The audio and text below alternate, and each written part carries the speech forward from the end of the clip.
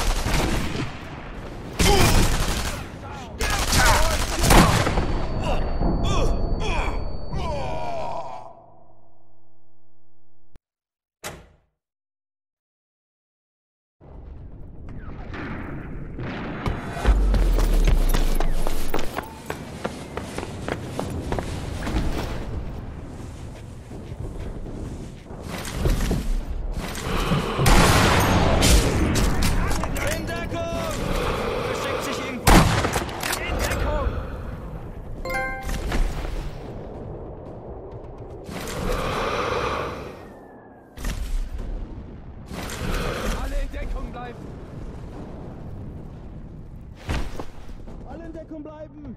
Schaut auf den Dächern nach!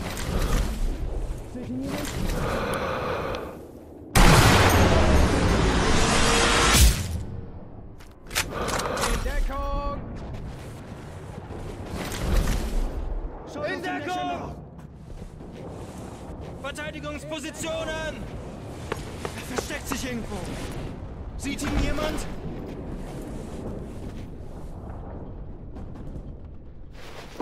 Scharfschütze!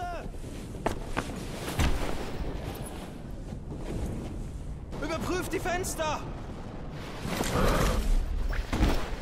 Keine Gefahr.